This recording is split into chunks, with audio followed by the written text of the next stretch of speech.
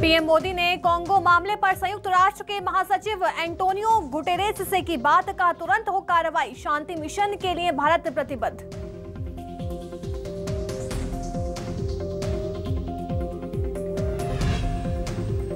अधीर रंजन चौधरी ने राष्ट्रपति मुर्मू को पत्र लिखकर मांगी माफ़ी।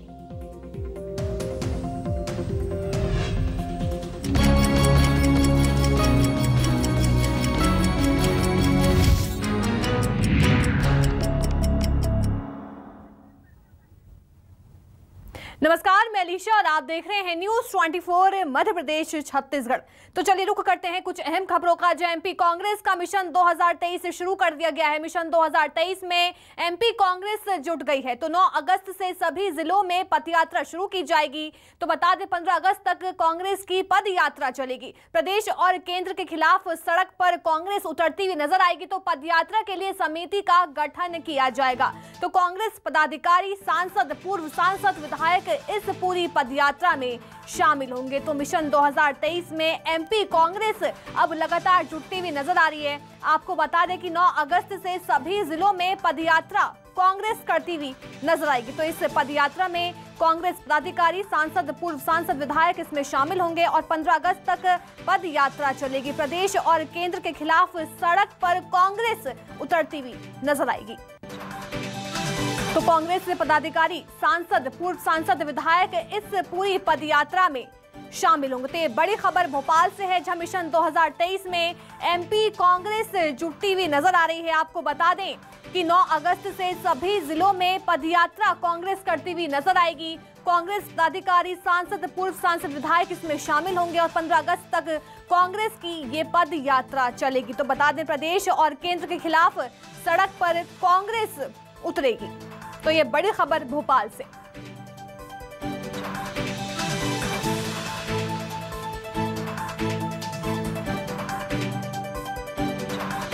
में एमपी कांग्रेस जुट गई है। बता दें कि 9 अगस्त से सभी जिलों में पदयात्रा कांग्रेस करेगी। कांग्रेस पदाधिकारी, सांसद, पूर्व सांसद, विधायक इस पूरी पदयात्रा में शामिल होंगे और 15 अगस्त तक कांग्रेस की ये पद यात्रा चलेगी। प्रदेश और केंद्र के खिलाफ सड़क पर कांग्रेस उतरती हुई नज़र आएगी। बता दें कि इस पूरी पदयात्रा में कांग्रेस पदाधिकारी, सांसद, पूर्व सांसद, विधायक इसमें शामिल होंगे। भोपाल से मेरी सहयोगी अमितांशी जोशी हमारे साथ जुड़ गई है। अमितांशी कांग्रेस की पदयात्रा शुरू हो रही है तो क्या कुछ तैयारियाँ कांग्रेस तरफ़ से कर ली गई हैं?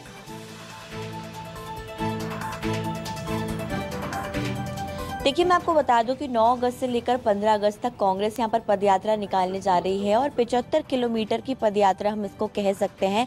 हर ज़िले में कांग्रेस के जो पदाधिकारी, नेता और विधायक, पूर्व विधायक हैं, वो निकालने जा रहे हैं। मैं आपको बता दूँ कि जहाँ एक और बीजेपी नौ से लेकर पंद्रह अगस्त तक आज़ादी का अमृत महोत्सव मनाने वाली है, तिरंगा यात्रा निकालने वाली है तो कांग्रेस ने बीजेपी पर हमलावर होते हुए यहाँ पर नौ से पंद्रह अगस्त तक पद यात्रा निकालने का तय किया है। इस यात्रा में मैं आपको बता दूँ कि तमाम जो कांग्रेस के बड़े नेता हैं चाहे हम कमलनाथ से लेकर दिग्विजय सिंह की बात करें चाहे पदाधिकारी या अन्य हम कार्यकर्ताओं की बात करें सभी इसमें शामिल होने जा रहे हैं। खास अगर हम बात करें कि क्या कुछ पीछे इसके वजह है तो कांग्रेस जो है वो केंद्र सरकार और प्रदेश सरकार की जो नीतियाँ हैं उसका विरोध करने के लिए यहाँ पर सड़कों पर उतरती हुई नज़र आएगी। कांग्रेस लगातार ये चीज़ कहती है कि जो है महँगाई बढ़ती जा रही है सिलेंडर महँगे होते जा रहे हैं महँगाई से आम आदमी काफ़ी ज़्यादा परेशान है। तो सरकार की जितनी भी नीतियाँ हैं सरकार की जो जनता विरोधी नीतियाँ जो कांग्रेस जिनको नाम देती है इसको लेकर यहाँ पर कांग्रेस एक बड़ी पदयात्रा निकालने जा रही है। देखिए हर ज़िले में एक समिति गठित की जाएगी। कांग्रेस के जो वरिष्ठ जन है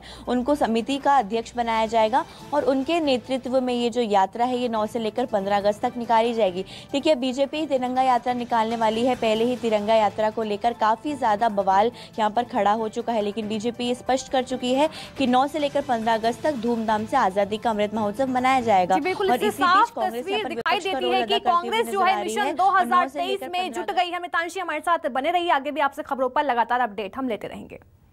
तो वह जिला पंचायत अध्यक्ष चुनाव में बीजेपी की बल्ले बल्ले हुई है। पंचायत चुनाव में सीएम शिवराज का जादू चल गया।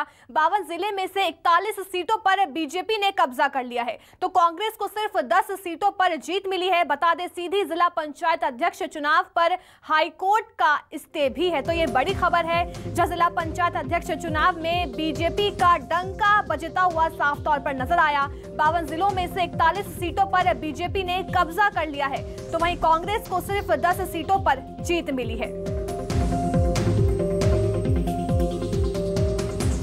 तो सीधी जिला पंचायत अध्यक्ष चुनाव पर हाईकोर्ट का स्टे लगा हुआ है तो ये बड़ी खबर जहाँ जिला अध्यक्ष पंचायतों में बीजेपी को बड़ी जीत मिली है।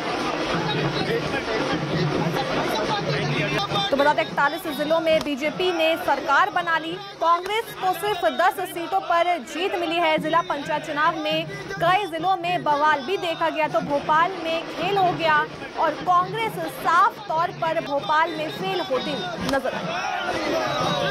तो देखिए तरह से सीएम शिवराज सिंह चौहान प्रदेश अध्यक्ष वी शर्मा को मिठाई खिलाते हुए नज़र आ रहे हैं। बावन जिलों में से इकतालीस सीटों पर बीजेपी ने कब्जा कर लिया है। तो वहीं अगर कांग्रेस की बात करें तो कांग्रेस ने 10 सीटों पर कब्जा किया है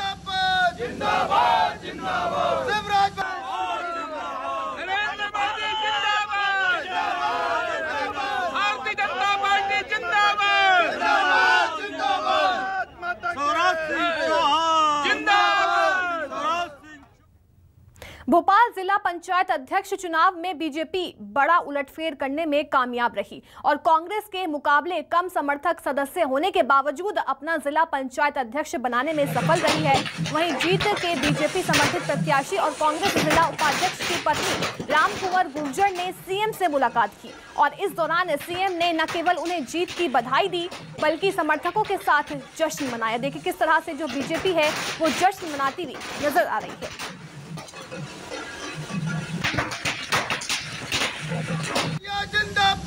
जिंदाबाद जिंदाबाद जिंदाबाद शिवराज भैया जिंदाबाद जिंदाबाद भैया जिंदाबाद जिंदाबाद जिंदाबाद शिवराज भैया जिंदाबाद जिंदाबाद भैया जिंदाबाद जिंदाबाद जिंदाबाद शिवराज भैया जिंदाबाद जिंदाबाद भैया जिंदाबाद जिंदाबाद खबर भोपाल से है, जहाँ जिला पंचायत कार्यालय में हंगामा हुआ। कांग्रेस कार्यकर्ताओं ने जमकर हंगामा किया है। दिग्विजय सिंह ने मंत्री भूपेंद्र सिंह की गाड़ी तक रोक डाली। तो जिला पंचायत सदस्य को लेकर मंत्री पहुँचे थे तो वहीं दिग्विजय सिंह ने बीजेपी पर आरोप लगाया है।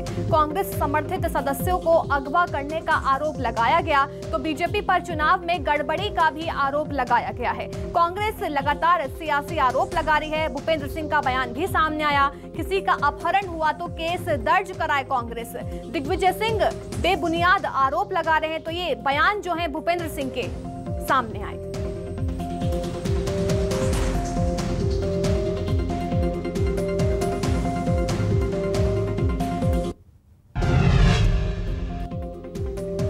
तो बता दें, जिला पंचायत कार्यालय में हंगामा देखा गया है और कांग्रेस की तरफ़ से ये हंगामा किया गया।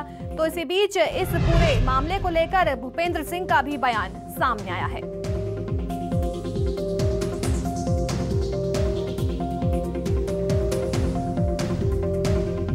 तो बीजेपी पर चुनाव में गड़बड़ी करने का आरोप लगा है। कांग्रेस सियासी आरोप लगा रही है। भूपेंद्र सिंह का बयान भी सामने आया। कहा कि किसी का अपहरण हुआ तो केस दर्ज कराए कांग्रेस।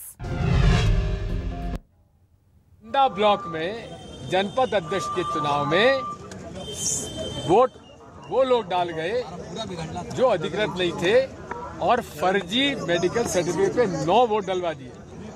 सर लेकिन यहाँ पर अभी हमारे पास खबर आई है कि वो लोग भी टेंडर वोट डलवाना चाहते हैं।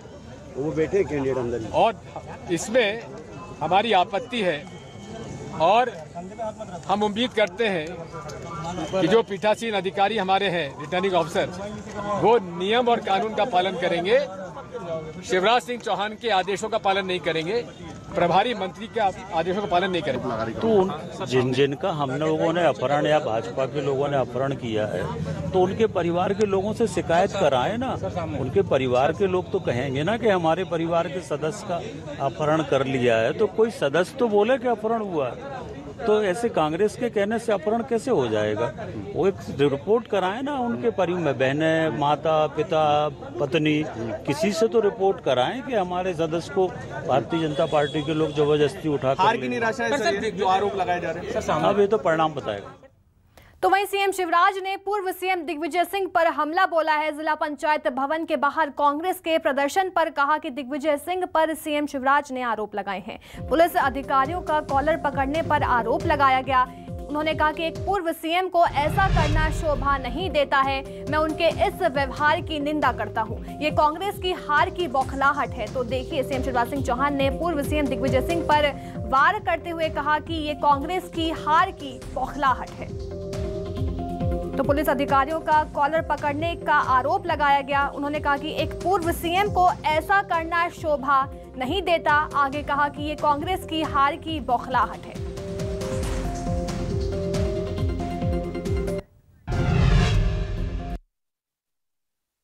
ऐसा अशोभनीय व्यवहार किसी पूर्व मुख्यमंत्री को शोभा नहीं देता। कालर पकड़ रहे हैं पुलिस अफसर के। चिल्ला रहे हैं। कलेक्ट्रेट के गेट को धक्का देके तोड़ने की कोशिश कर रहे हैं। अब ये ये बदतमीजी है। लोकतंत्र में जय और पराजय चलती रहती है। लेकिन ऐसी बौखलाहट कि आप पुलिस अफसर की कालर पकड़ेंगे। ये हक और अधिकार किसने दिया आपको? यह शोभनीय है और आश्चर्य मुझे कि कोई व्यक्ति दस साल मुख्यमंत्री रह के ऐसे कृत्य कर रहा है। ये तो कांग्रेस की बौखलाहट का प्रतीक है। ज़मीन खिसक गई तो गालियाँ दो और कालर पकड़ो। मैं इसकी घोर निंदा करता हूँ। एक पुलिसकर्मी का कॉलर पकड़े दिग्विजय सिंह का फ़ोटो वायरल होने के बाद प्रदेश बीजेपी अध्यक्ष वीडी शर्मा ने दिग्विजय सिंह पर करारा हमला बोला है और कहा कि दिग्विजय सिंह को एक पुलिसकर्मी का कॉलर पकड़ने का अधिकार किसने दिया? यही नहीं वीडी शर्मा ने कहा कि एक पूर्व मुख्यमंत्री होने के नाते दिग्विजय सिंह से ऐसे अमर्यादित व्यवहार की उम्मीद नहीं की थी। तो इस पूरे मामले को लेकर अब प्रदेश में सियासी बवाल लगातार देखने को मिल रहा है। इसी बीच प्रदेश अध्यक्ष वी डी शर्मा ने दिग्विजय सिंह पर हमला बोला है।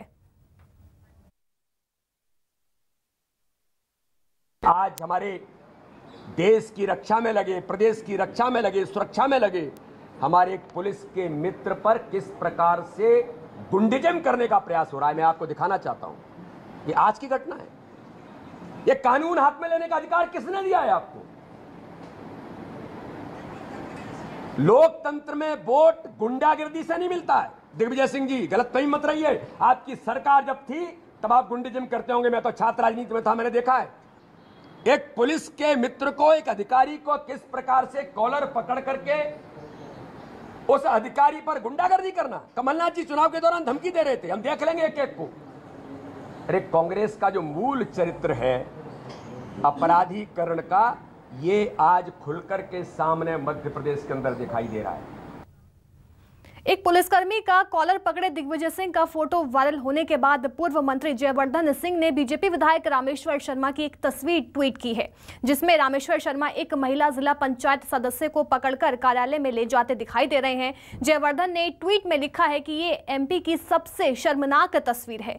भोपाल जिला पंचायत के चुनाव में बीजेपी ने लोकतंत्र और नैतिकता की सारी मर्यादाओं को तार तार कर दिया है। बीजेपी विधायक एक महिला जिला पंचायत सदस्य को पुलिस और प्रशासन के संरक्षण में ज़ोर जबर, ज़बरदस्ती से ले जाते हुए दिखाई दे रहे हैं।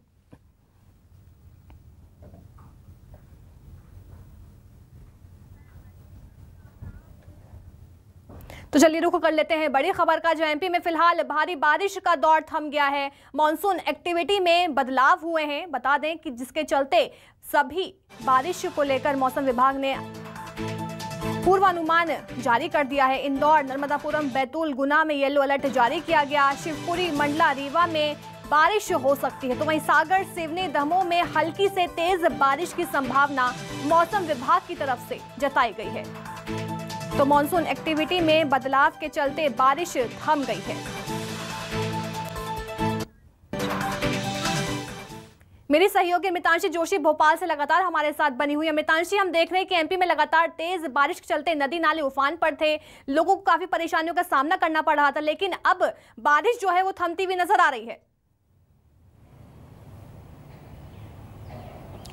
देखिए, मैं आपको बता दूँ कि फ़िलहाल जो जुलाई का बारिश का कोटा है, वो यहाँ पर पूरा हो चुका है और रेनफॉल एक्टिविटी में बदलाव के कारण मध्य प्रदेश के कई जिलों में जो है बारिश का दौर रुक गया है। बारिश के बाद मैं आपको बता दूँ कि उमस का दौर शुरू हो गया है। हालाँकि राजधानी भोपाल की अगर मौसम की हम बात करें तो यहाँ पर मौसम पूरी तरीके से साफ़ है और फ़िलहाल यहाँ पर सुबह के वक्त जो है वो धूप निकली हुई है। आप ये देखेंगे कि बादल फ़िलहाल पूरी तरीके से साफ़ है। यहाँ पर बारिश के कोई आसार नहीं है। हालाँकि मौसम विभाग ने बारिश को लेकर राजधानी भोपाल में जो है अलर्ट भी जताया है कि राजधानी भोपाल में हल्की बारिश हो सकती है। उसके अलावा मध्य प्रदेश की अगर हम बात करें तो अनूपपुर, डिंडौरी, उमरिया, कटनी, सिवनी में जो है बारिश को लेकर येलो अलर्ट जारी किया गया है। हालाँकि मंडला बालाघाट में गरज चमक के साथ और भोपाल में भी गरज चमक के साथ बारिश के आसार हैं। तो भोपाल संभाग की बात करें, इंदौर संभाग की, शहडोल संभाग की अगर हम बात करें तो यहाँ पर थोड़ी बहुत बारिश देखने को मिल सकती है, लेकिन पिछले दो दिन से अगर मौसम की बात की जाए तो यहाँ पर मौसम पूरी तरीके से साफ़ है, जैसा कि आप अभी देख ही सकते हैं। मौसम साफ़ इसलिए भी है क्योंकि रेनफॉल एक्टिविटी जो मानसूनल ट्रफ है, उसमें कहीं ना कहीं बदलाव आया है। और अब जो तेज़ बारिश का दौर है, वो अगस्त के महीने में दोबारा शुरू होगा, दोबारा देखने को मिलेगा। तो हालाँकि मध्य प्रदेश में फ़िलहाल तेज़ बारिश के दौर से जो है, प्रदेशवासियों को राहत है, लेकिन अगस्त में जब दोबारा बारिश का दौर शुरू होगा तो कहीं ना कहीं दोबारा परेशानी जो है जो छोटे ज़िले हैं, वहाँ पर बन सकती है। लेकिन फ़िलहाल अभी तीन से आने वाले तीन से चार दिनों में बारिश से यहाँ पर मध्य प्रदेश में जो है कई जिलों में राहत मिलती हुई नज़र आएगी। जी। जी, बिल्कुल। बहुत बहुत शुक्रिया मितांशी हमें तमाम जानकारी देने के लिए। बैतूल में उस वक्त बड़ा हादसा टल गया जब बाढ़ग्रस्त रपटे को पार कर रहे स्कूली छात्रों को शिक्षकों ने मौके पर पहुंचकर रोका। घटना दुलारिया गाँव की बताई जा रही है, जहाँ डुलारिया नदी में आई बाढ़ से रपटा डूब गया, लेकिन फिर भी कुछ छात्र रपटे को पार करने की कोशिश कर रहे थे। बता दें कि यहाँ साल 2012 में बड़ा हादसा हो चुका है और रपटे को पार कर रहा श्रद्धालुओं से भरा वाहन पानी में बह गया था, जिससे 11 लोगों की मौत हो गई थी।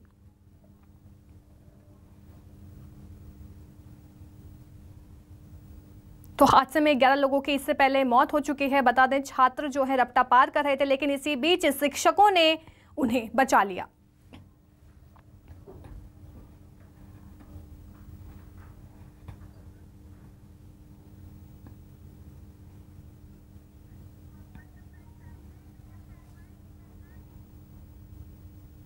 तो चलिए वक्त है छोटे से ब्रेक का जल्द होंगे हासिल